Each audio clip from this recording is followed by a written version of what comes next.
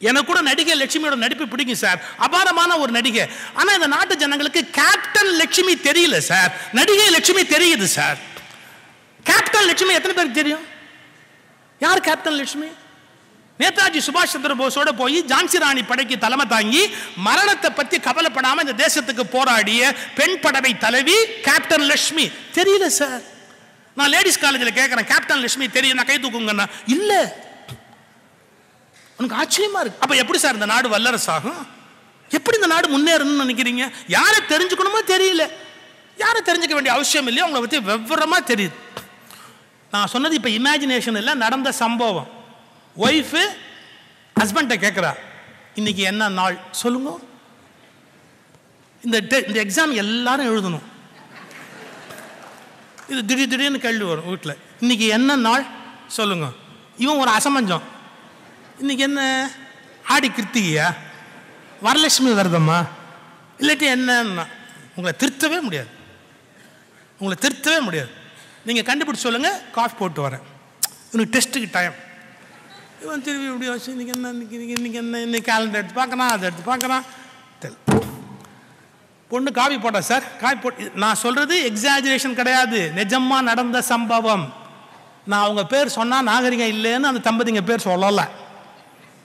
ம்? காய் பொண்ணாந்து கொடுத்துட்டு ம- புருஷனை கேட்குறான் இன்றைக்கி என்ன நாள்? கண்டுபிடிச்சிங்களா? சொன்னான் இல்லை அஜித்தோட வெட்டிங் அனிவர்சரி அது அவன் முன்னாடி சந்தோஷப்பட வேண்டிய விஷயம். எனக்கு புரியல. நம்ம இந்திய பிள்ளைகளுக்கு நான் பைத்தியமா பிடிச்சிருக்கேன். எவனோட வெட்டிங் anniversary பற்றி நீ எது கவலைப்படுற? காலங்கத்தால் ஏஞ்சி உட்காந்து நீ என்ன நாள் சொல்லுங்கன்னு கேட்டு இன்னைக்கு அஜித்தோட வெட்டிங் anniversaryனா இந்த நாடு எப்படி சார் வல்லரசு ஆகும் புரியல எனக்கு. நான் ரொம்ப வருத்தப்பட்டு கேட்குறேன் என்ன நியாயம் இது? அதாவது நம்ம பிள்ளைங்களுக்கு பைத்தியம் பிடிச்சி போச்சு.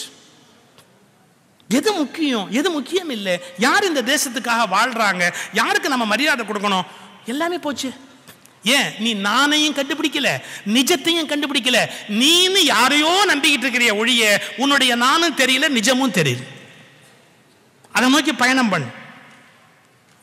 சரி நான் இப்போ நான் ஒரு என்ன ஒரு ரெண்டு மூணு சொல்லி நான் முடிச்சிடுறேன். நம்ம பிள்ளைகளுடைய குணத்தை பாருங்க.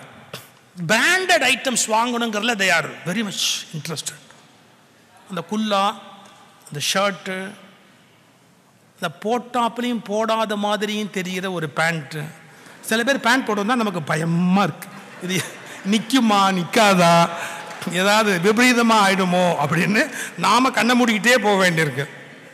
இது அவங்க சௌகரியம் நம்ம பிள்ளைங்க அவங்க சௌகரியம். இதெல்லாம் ஒரு பெரிய விஷயம் இல்லை பிள்ளைங்க ட்ரெஸ் பண்ணிட்டான் வேணான்னு சொல்லலை. ஆனால் என்ன தெரியுமா? அந்த ஷூனா அந்த ஷூ பிராண்டட் ஐட்டம் இருக்கணும். அப்புறம் வந்து அந்த பெல்ட் அதே பிராண்டில் இருக்கணும். அப்புறம் நம்ம பிள்ளைங்களுக்கு ஒரு வார்த்தை சொல்கிறேன் குவாலிட்டியாக ட்ரெஸ் பண்ணணும்னு நினைக்கிறது தப்பு இல்லை. ஆனால் பிராண்டடாக ட்ரெஸ் பண்ணுங்கிறது நல்ல விஷயம் இல்லை. There is a difference there is a difference between quality and brand தெரியல நமக்கு. கண்ணதாசன் ஒரு காலேஜ் விழாவுக்கு போனார். காலேஜ் விழாவில் கவியரங்கம் ஒரு பையன் கவிதை படிக்கிறான். யாருமே கேட்க மாட்டேங்கிறான். அந்த பையன் கவிதை படிக்கிறான் எல்லாரும் கை தட்டி உட்காந்து வைக்கிறான். அவன் காலேஜ் பையன். கேட்க மாட்டேங்கிறான். எல்லாரும் கை தட்டி உட்காந்து வைக்கிறான். கண்ணதாசனா நீ பாடு நீ பாடு நீ பாடு அப்படிங்கிறாங்க. கடைசியில் அந்த பையன் பாடம் உள்ள உட்காந்துட்டான் அப்புறம் கண்ணதாசன் மேடைக்கு வந்தார். ஒரு கவிதை படித்தார் எல்லாரும் கை தட்டினான். கண்ணதாசன் சிரித்தார் இது என் கவிதை இல்லைடா. அந்த பையன் படித்த கவிதை தான். உங்களுக்கு உங்கள் காலேஜ் பையன் அருமையே தெரியலையேடா. அது கவிதை நல்லா இருக்கே நான் இப்போ வாங்கி படித்தேன் எவ்வளோ அருமையான கவிதை. இப்படி முதல்ல தரத்தை மதிக்க கற்றுக்கங்கடா நபரை கொண்டாடாதீங்க. நான் அதான் திருப்பி திருப்பி சொல்றேன். நபரை கொண்டாடாத. அது உள்ளே இருக்கிற வஸ்துவை கொண்டாடு. கண்டென்ட்டை கொண்டாடு. எப்போவுமே நேம் ஃபேம் அதை பார்த்து போகாது. பிராண்ட் முக்கியம் இல்லை. அந்த பொருள் குவாலிட்டியா இல்லையான்னு பார்த்து வாங்க. அந்த பொருளோட குவாலிட்டியை அசஸ் பண்ணு. ஏத்துக்கோ. பிராண்ட் பெரிய விஷயமே இல்லை. நீ பிராண்டடா போனேன்னா பத்தாயிரம் ரூபா ஆகும் பதினஞ்சாயிரம் ரூபா ஆகும். குவாலிட்டியா தேடினேன்னா ரெண்டாயிரம் ரூபாயில முடியும். சரி பசங்க சொல்லலாம். நாங்க போட்டா என்ன? ஏய் நான் உரிமையில் பேசுறேன். உங்க அப்பா எவ்வளவு கஷ்டப்பட்டு சம்பாதிச்சிருக்கான் நாளைக்கு உனக்கு பணம் வரும்போது உன் காசுல என்ன வேணா வாங்கிக்கடா. ஆனால் அவங்க அப்பனை கஷ்டப்படுத்தி பிராண்ட் வேணும்னு கேட்டு தொந்தரவு பண்ணாதரா அதுக்கு உனக்கு உரிமை இல்லை. அப்பா எவ்வளோ கஷ்டப்பட்டு சம்பாதிக்கிறாங்கிறது எத்தனை பிள்ளைக்கு தெரியுது? தெரியலையே. அப்பாவுடைய கஷ்டம் தெரியணும் பையன். பெண் குழந்தைங்களுக்கு தெரியணும். ஒரு ப்ரோக்ராம் நடந்தது இந்த நீயா நானால ஒரு பொண்ணை கேட்குறான் உன் கல்யாணம் எப்படி நடக்கணும்? ஹெலிகாப்டரில் வந்து இறங்கணும். ஹெலிகாப்டரில் வந்து இறங்க உனக்கு அதுக்கு என்ன யோகியதை இருக்குது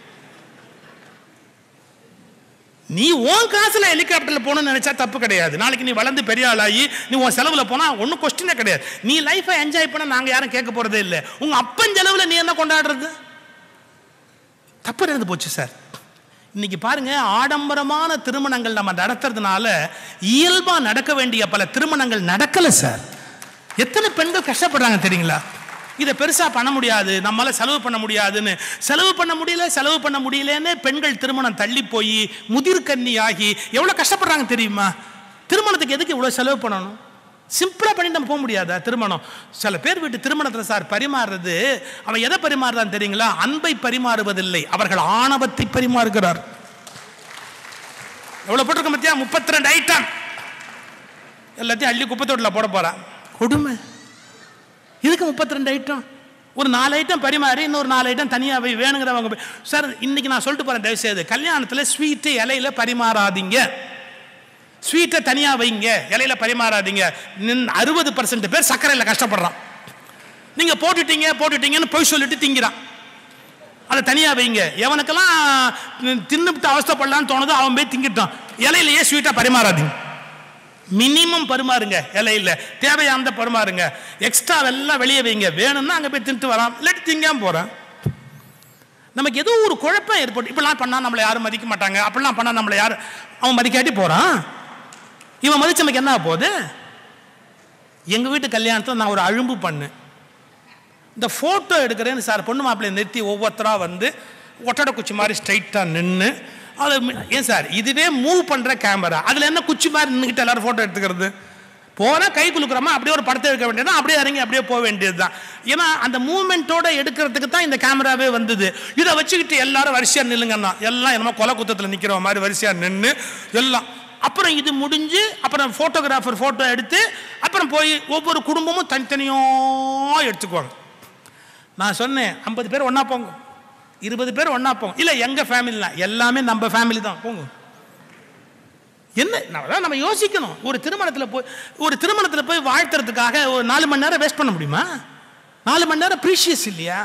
வர்றவனெல்லாம் நிற்க வச்சு வரிசையாக நிற்க ஏன் சார் நான் ரேஷனில் போனால் க்யூ நிற்கணும் பொண்ணு மாப்பிள்ளைக்கு கவர் கொடுக்கறது கூட நான் போய் க்யூவில் நிற்கணுமா எனக்கு தலையெழுத்து எனக்கு. அதுக்கு ஒரு க்யூ நின்று வரிசையாக போய் எல்லாரும் பணத்தை கொடுத்துட்டு போகணும் அப்படின்னா நிறைய விஷயங்களில் மாற்றத்துக்கு நம்ம தயாராக இருக்கணும். கொஞ்சம் யோசிக்கணும். நிறைவாக ஒன்று சொல்கிறேன் வாழ்க்கையில் முன்னுக்கு வரணும் அப்படின்னு நம்ம நினச்சோம்னா அச்சம் விடு உச்சம் தொடு. லைஃப்பில் மேலே வர அச்சம் விடு உச்சம் தொடு. ஹிட்லரை பார்க்கறதுக்கு நேதாஜி போகிறாரு ஹிட்லரை பா ஹிட்லர்னால் உலகமே பயப்படும். ஹிட்லரை பார்க்கறதுக்கு நேதாஜி போகிறார் ஹிட்லர் கை கொலிக்கிட்டு உட்காருங்க அப்படின்னார். One minute Netaji one minute என்ன?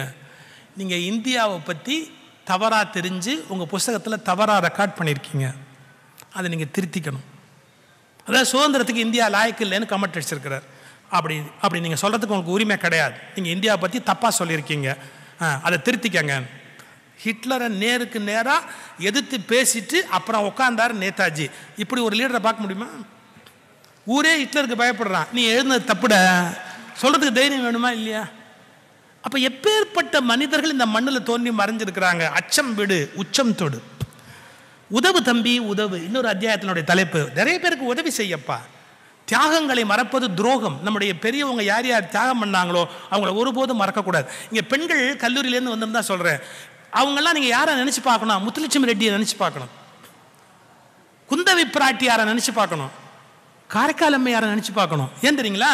ஞானசம்பந்தரும் சுந்தரரும் பாடுறதுக்கு முன்னாடியே பாடல் வகையை தமிழுக்கு கொடுத்தவர் காரைக்கால் அம்மையார். காரைக்கால் அம்மையார்னா ஏதோ கோயிலில் உட்காந்துருக்கிற ஒரு கிழவின்னு தான் நினைக்கிறாங்க. அந்த அம்மா இலக்கிய துறையின் முன்னோடி. தமிழ் பாடல் வகையில ஒரு இலக்கிய துறையின் முன்னோடியாக விளங்கியவர் காரைக்கால் அம்மையார்.